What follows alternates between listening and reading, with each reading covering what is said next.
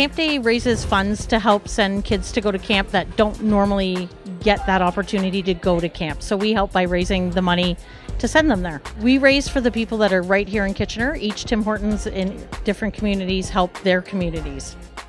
I've been making coffees, um, working the window, and also uh, selling balloons outside.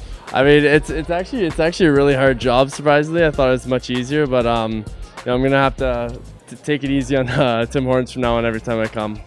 He's doing okay. He's doing okay. We may even hire him on full time.